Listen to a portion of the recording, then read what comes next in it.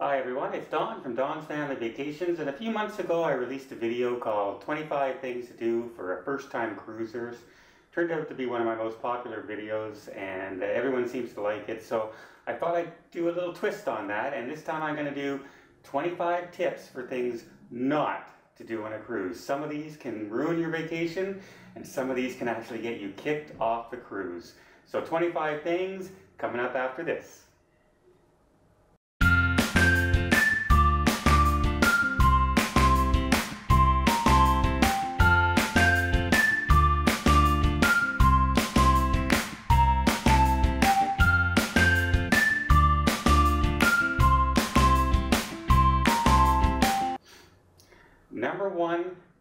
Smoke unless you're in a designated smoking zone. If you're caught smoking on your balcony or up on deck that's not a designated spot, you can actually get kicked off at the next port for doing it. And the reason for this is people don't tend to realize, but say you're on your balcony and the wind is going and you flick your cigarette into the ocean, well, chances are it's not going in the ocean, it's going into a cabin down the way or down on deck someplace. And trust me, you don't want to be 10 miles out at sea and have a fire break out on a cruise ship because there's nowhere else to go but into the ocean. So, number one tip can actually ruin your vacation, get you kicked off. Don't smoke on your balconies. Take the time to go to the designated smoking zones. Number two is I know a lot of people love this, and I love shore excursions. I love learning new things, learning new cultures, experiencing the vibe of the cities and stuff like that. But when you're on a cruise and you're trying to relax a little bit, don't overdo the shore excursions. Don't book a shore excursion every single time you're in every single port, especially on a, like a longer cruise. It's like 14 days.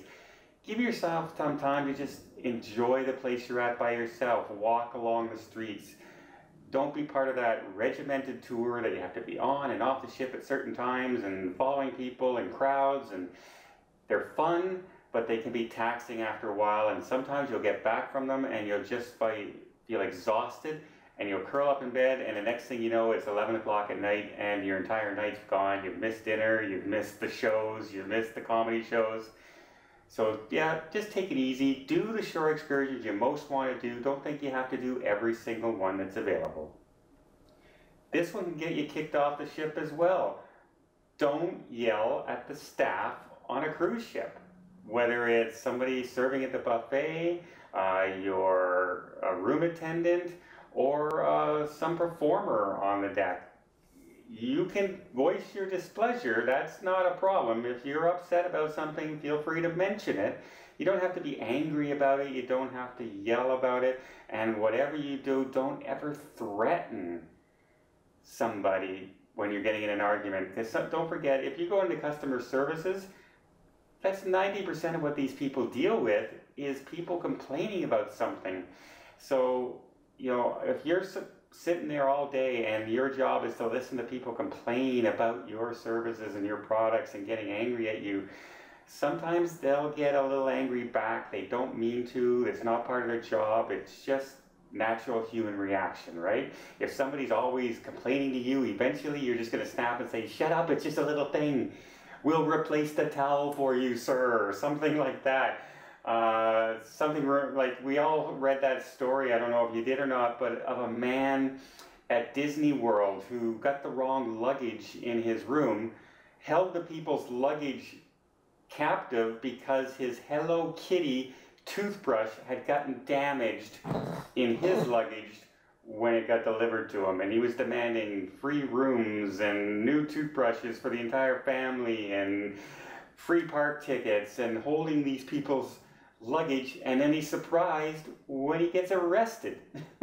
So yeah just remember you're on vacation. Don't let the little things bug you and be polite to the staff and whatever you do. Just don't yell at them. You can talk to them firmly but don't ever yell at somebody on a cruise ship because that can get you off that ship faster than smoking does. Number four, buffets are free. Food is free. Everything's available. I can eat as much as I want. Yeah, well, don't. Nothing ruins a cruise more than stuffing yourself every chance you get and feeling full all day, all the time you don't want to go swimming, you don't want to go flow riding, you don't want to go on excursions, you just feel bloated and you feel gah.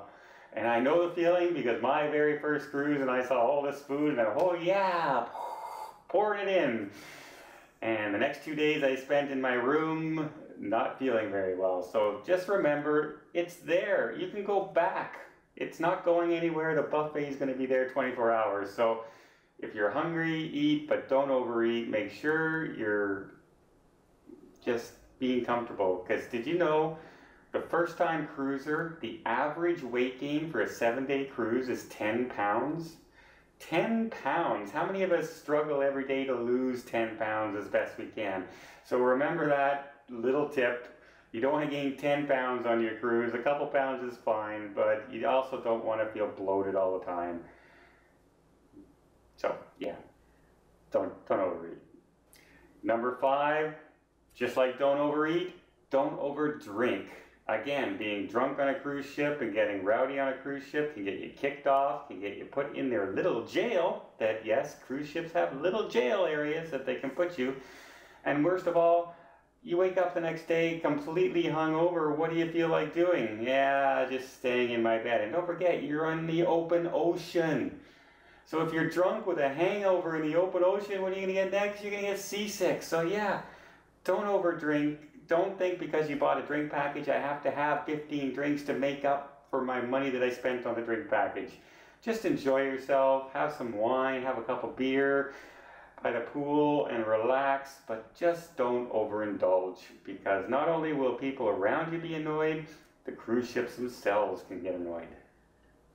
Number six, Slather on that sunscreen. I don't care how ridiculous you look, if it's white or anything like that, and it's always on like the people on the nose you see in the old 70s movies whenever they go to the beach, they have the white nose thing on there.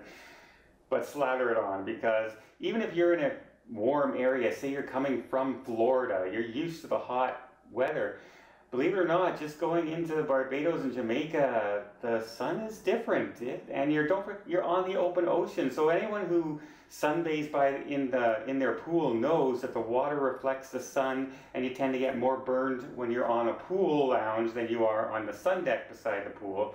Same effect on the ocean on the cruise ship.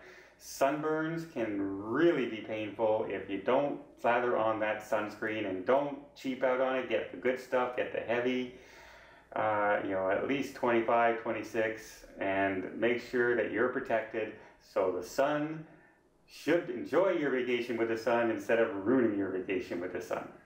Number seven, a lot of cruise ships right now are offering teeth whitening at very cheap prices while you're on a cruise ship. Yeah, that's great. Except these aren't your little crest white strips that you just put on for an hour and then take them off and everything's fine. This is an actual compound they put in your mouth and they make your mouth very sensitive and very sore sometimes. And if your mouth is sore, Every time you bite into something, every time you drink something, it's going to hurt. And it can do that for like two days after the treatment. So be careful of this.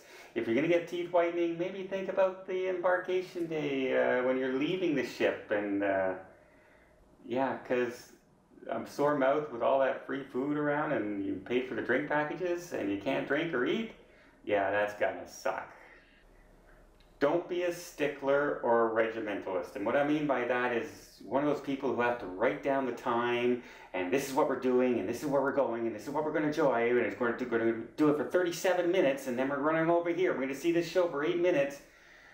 Learn to roll with the punches, especially on cruises, because cruises change more than any other vacation you can think of because Sometimes the water gets a little rough and you can't use the boats to get to shore, so they're just going to skip the port and they're going to go to the next port or they're going to spend another sea day. And if you're one of those people that get really annoyed, oh my God, I'm not going to Nassau today, what am I going to do? Well, you're still on a cruise ship. There's lots to do on the ship. It's beautiful. Enjoy the ship. Learn to roll with those punches because things are going to change on cruises quite often and you're going to have to live with it.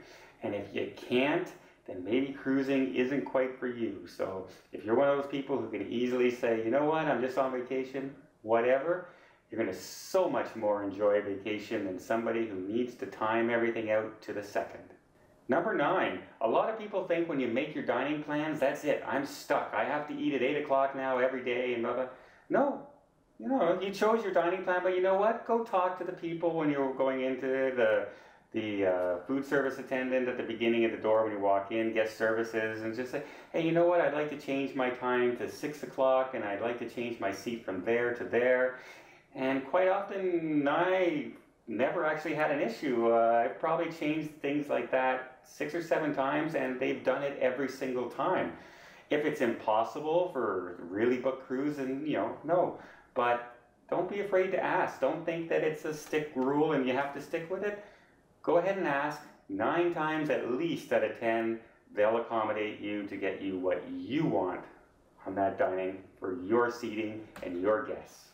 Number 10, this one can be expensive. If you're traveling outside of your normal country, you're uh, in an Alaska cruise, you're on a Canadian cruise, you're heading over to Europe, don't leave your phone on roam. Whatever you do. A lot of people, for some reason, think, oh, well, I'm going from Seattle to Alaska. Alaska is United States, Seattle's United States, so there's no roaming charges, I'll be fine. And then you pass through the Canadian side to get to Alaska, and by the time you get back, you got a $400 roaming charge on your phone.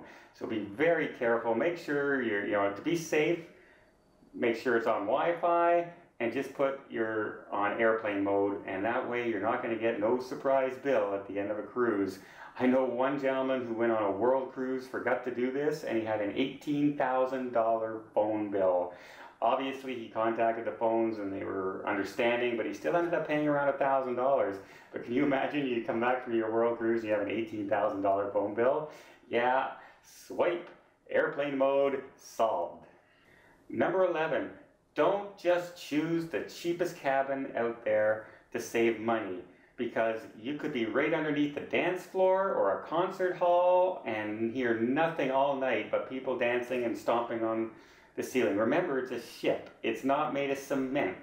So there's, you know, they do their best with the noise buffering, but trust me, you don't want to be near elevators in the morning. You don't want to be near underneath the swimming pool. You don't want the gym, things like that. You want to station yourself where you're comfortable and probably get a better night's sleep. So look at the floor plans of the ship and the deck plans. Choose roughly where you want to go. When you're buying a cruise, you can choose which cabin you want to book. So there might be a $5 difference in the cabin that's the cheapest and the cabin that's further away from elevators or on a lower deck or on a higher deck away from all the activity. So choose your cabin wisely, not just for the size of the cabin, whether it's going to be balcony, inside, suite, or anything like that, but make sure you're choosing the cabin for where you're going to be most enjoyable and away from the noise. Because even in your cabin beside you, the walls are paper thin. They're like Bristol board kind of thing, you know, a chalkboard between walls because uh, they have to be light. You, you know, we, we want to float on the ocean, we don't want to sink. So we're not making cement walls. So you're going to hear your neighbors if they're loud as well. So you don't want to compound that with loud neighbors, loud people in the hallway, people waiting for the elevator, the, the elevator's dinging all the time, the dance floor up above is pounding till 1 in the morning, 2 in the morning. Choose your cabin. Don't let the cruise line choose it for you. You choose it. Do some investigation. Talk to a travel agent much more enjoyable vacation. Trust me. Number 12, wear the right footwear. I don't know how many times I've been out to an excursion in Jamaica and we're going to Duns Falls where there's a lot of walking and stuff like that, and people are leaving the, cat, the cruise ship in flip-flops thinking, oh, I'm going in the water in Duns Falls. Yes, you are. But you got to do a lot of walking to get there to begin with. So walking in flip-flops through forest and woods and cement and rocks is not the most conducive to a good time. So make sure you're wearing the proper footwear where you're going. It's a lot easier to put wear a small little trap backpack with yourself, put some flip-flops in there, wear your running shoes till you get there, and then switch them out. So wear the proper footwear, especially if you're going on tours that are going to be lots of walking. Make sure you got comfortable shoes, not high heels, not dress shoes, not flip-flops. Comfortable walking shoes. Number 13 is kind of a one for me that a lot of people sometimes disagree with, but I never go anywhere without my passport being on me. I will carry that everywhere I go because, especially on cruises and things like that, or in foreign countries, if I'm stopped by the police, I have my passport. Not a photocopy of my passport, I have my actual passport. Things go a lot smoother.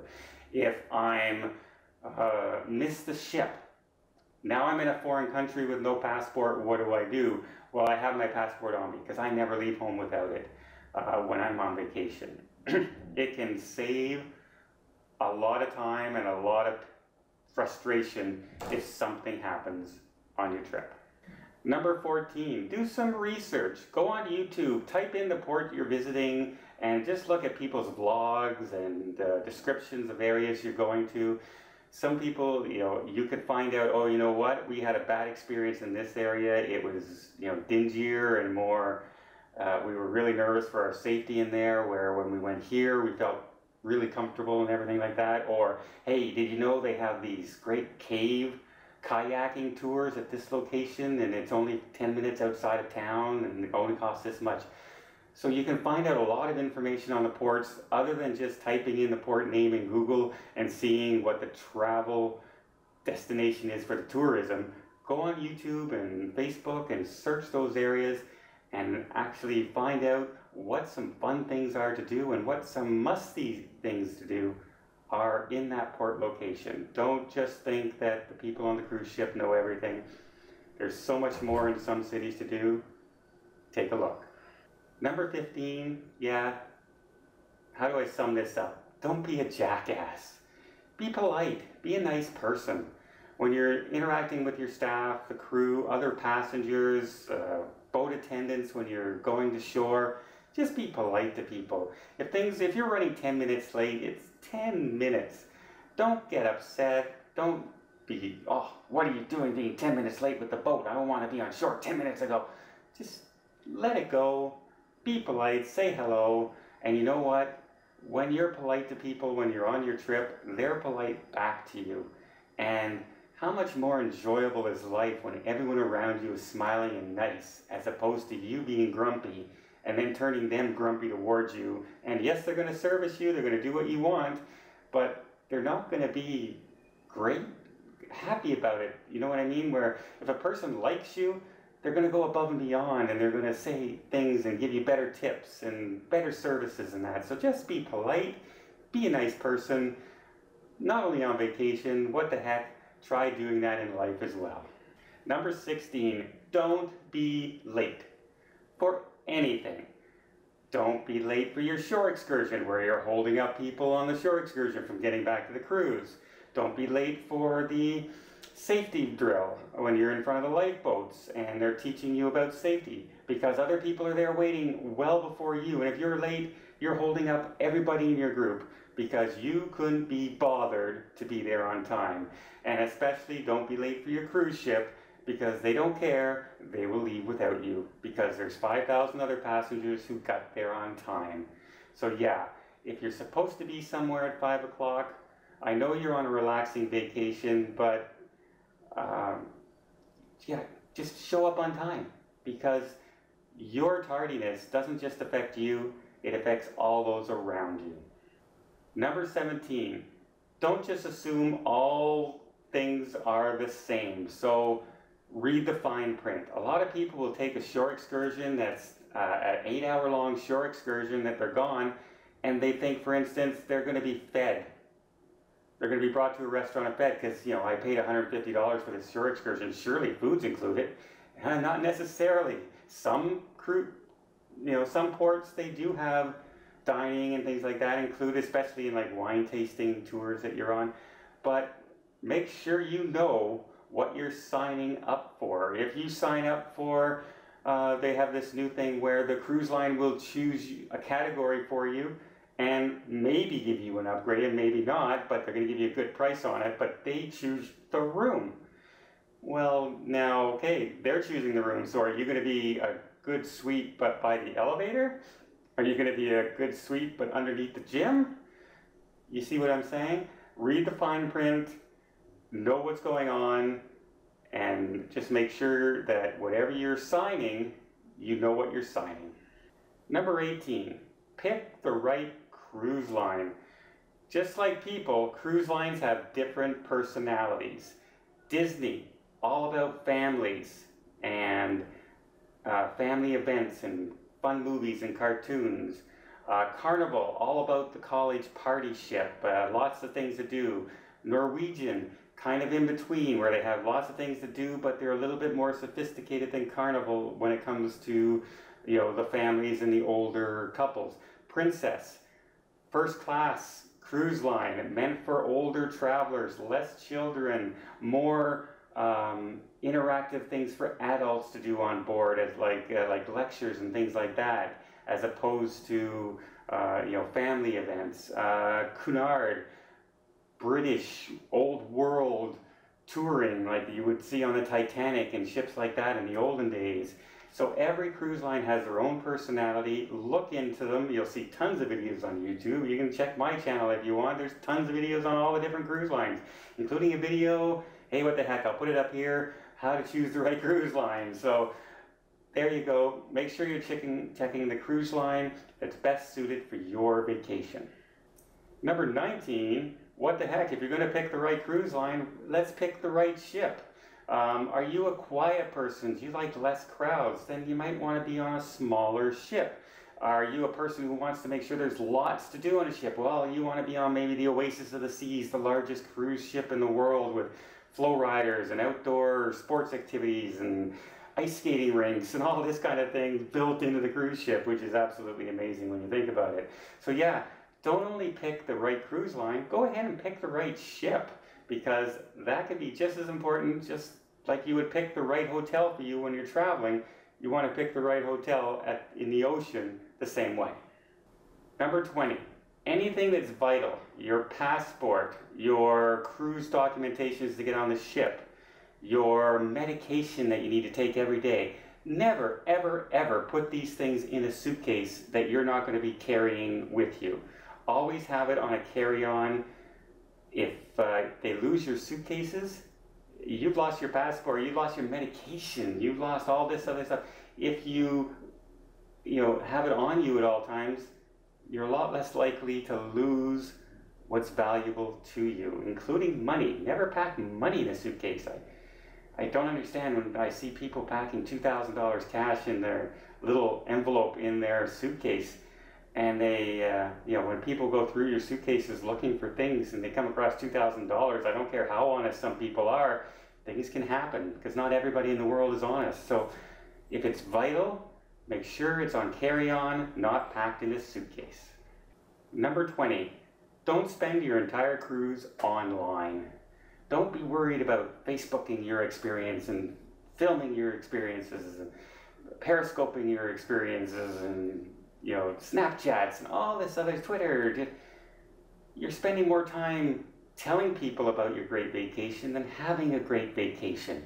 You can do all that stuff afterwards. Or you know what? At the end of the day, go ahead and update people when you're getting ready to go to bed. As opposed to every time you're at, oh, Snapchat this, hashtag this. Just enjoy your vacation. Uh, unless you're making a living doing it, it's not conducive to a fun vacation. And you'll end up at the end saying, oh, look at this, I got some great Snapchats and I got some great pictures for Facebook, but yeah, I spent a lot of time doing that on my vacation and I didn't really have enough time to do some other things that I wanted to do. So don't spend your entire vacation online. It's okay to update things, but take time to enjoy the cruise yourself. 22. Don't hog the damn deck chairs. Don't get up at 4.30 in the morning, put your stuff on a deck chair, and then show up at 3 in the afternoon to sit by the pool and expect your stuff to still be on that deck chair. First of all, they're monitoring deck chairs nowadays, and if they see stuff that doesn't seem to have anyone around it, they'll go put a little sticker on it with the time, and then 45 minutes later, roughly, if no one's ever come back to that deck chair, they're gathering up those belongings and they're storing it until somebody comes to claim it. So your personal belongings will disappear. And if 20 people are doing that, now they have to figure out all the belongings to those 20 people.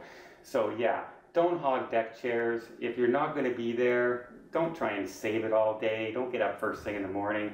It's absolutely ridiculous. There are places you can sit on the ship perfectly fine to get views and things like that. You don't have to be 10 inches away from the pool to have a good time.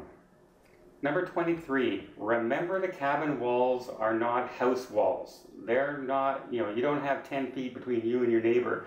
You don't have uh, fire protection. You don't have uh, gyprock and all this other stuff. You have basically almost cardboard between walls in a cruise ship.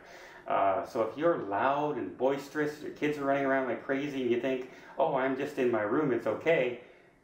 Not necessarily. You could be disturbing the neighbors on either side of you and even beside them. Um, I've had people so loud in a cruise ship beside me that they were actually three rooms away and I could hear them in my room and I had people banging on my door thinking I was the one making all the noise. And then they saw that I yeah there's no kids in my cabin. It wasn't me. So remember to respect the people. You can't control kids from having fun. That's not what I'm saying but what I'm saying is if you're getting drunk or you're get seven people in your cabin talking just remember that there's some might be somebody beside you just trying to rest a little bit Number 24, don't just sit there waiting for the elevators. If you're on the 15th floor and you're going down to the 13th floor for dinner, don't sit there 10 minutes waiting for the elevator. It's a short walk down two flights of stairs. Just take the stairs, get a little bit of exercise. Now, obviously, I'm not talking about someone who's in a scooter or a wheelchair who has trouble walking and stuff like that. I'm talking for the most of us who are very capable of walking a couple flights of stairs but instead we'll sit there during the busiest times of the ship for dinner and people leaving for shore excursions and we'll wait 10, 15, 20 minutes trying to squeeze into an elevator. Meanwhile, you could have just walked down a couple flights of stairs or, and you know, it also frees up the elevator for those who actually need the elevator to get up and down the stairs. So, yeah, remember, it's a cruise, you're relaxing, but the stairs are an alternative, and it's much faster than waiting for the elevators 90% of the time. And lastly, 25, have fun. Remember, it's a vacation. No matter what happens, you miss a port. Uh, oh, they didn't have a steak that night. They didn't have lobster that night at the restaurant. Or I had one so-so meal. Let it slip off your shoulders. Just let it go. Remember, you're on a vacation, you're out in the water, you're having a good time, the ships are great, and you know, just relax. I see so many people stressed out on vacation, like Disney World vacations and cruise vacations, because they want to do so much and get so much done. Relax. Remember you're on vacation. It's supposed to be fun and relaxing, not stressful. I can't stress this enough to you to not be stressful. Does that make sense? It does in my mind, and after all, I'm doing the video, so that's what counts. So there you go, 25 things not to do on a cruise or really any vacation some, for some of these tips. I hope you enjoyed it. If you did, please give it a thumbs up. And if you like more videos like this, please subscribe to my channel. I'm getting a lot of people subscribing lately, and it's great because we get to interact with each other, and people are sending me messages about questions that I know that if they looked it up themselves, they might not just find, uh, but I'm able to find it being a travel agent and things like that. So I'm glad to help people out. I hope people like the videos. And if you don't, let me know what you didn't like about the video. And uh, just, you know, remember I'm a person, be nice. Uh, I take I take criticism well, but I don't take rudeness too well, uh, like everybody else. So until next time, uh, please subscribe, please thumbs up, and have yourself a great vacation.